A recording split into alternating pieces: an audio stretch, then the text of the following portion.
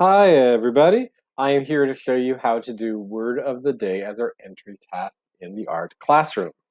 So when you come into the art classroom, you're going to see a screen like this. It has our learning target and it has our entry task. The entry task says, make a drawing that illustrates the definition for warm colors. And it has a little picture here that you can use to kind of help you understand the definition a little bit more. So you're going to go into our Google Classroom and you're going to find this thing that says EOA and POD vocabulary. And since this quest this question has to do with warm colors, we know that it has to do with color. So we're going to click on that color document.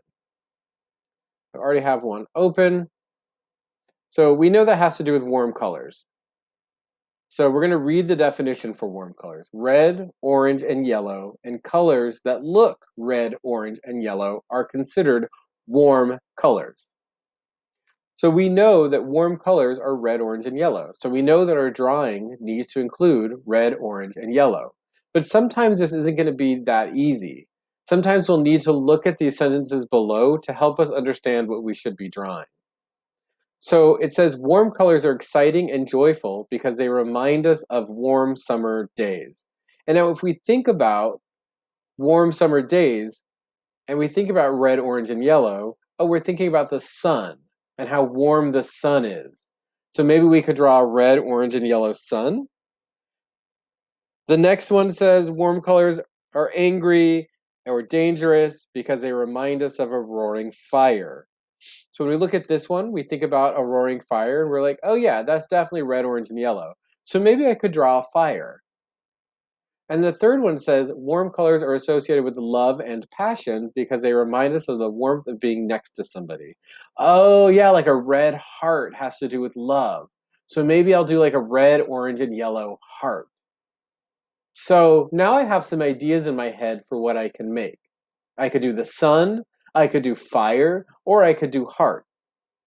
You could also do any drawing you want that uses red, orange, and yellow.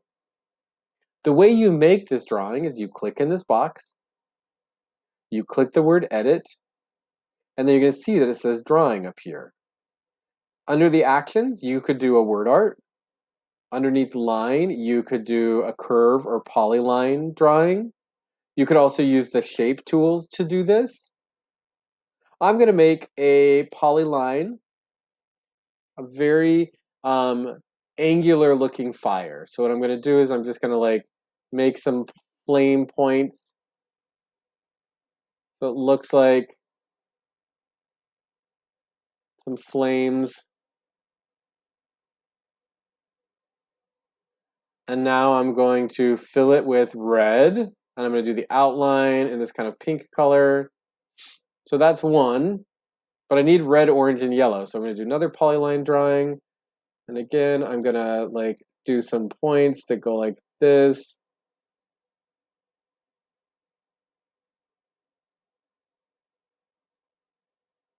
And now I'm going to fill this one with orange, and the outline is going to be a little orange as well. And I'm going to do another polyline drawing.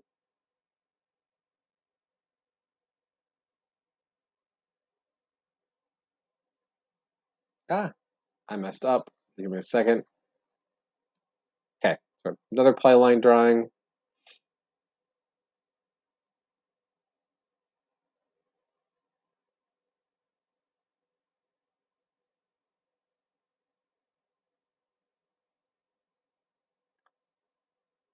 Going to be yellow. The outside of it's going to be yellow. Okay, so what I'm going to do is I'm going to put these together a little bit more to make it look a little bit more like flames and save and close. So now I have a drawing here that represents warm colors. It's red, orange, and yellow, and it also has to do with fire. So when you come in for um, the word of the day, you'll read the enter task, find the document that goes along with that entry task, and then do the illustration for the word that's in the entry task. You can also look at the picture to help you do that. When you're going to fill in your box, remember you click the box, you click the word edit, and then a whole drawing box will open up and you can you can use the shape tools and you can use the line tools to help you do this. I hope this helps. Have a good day.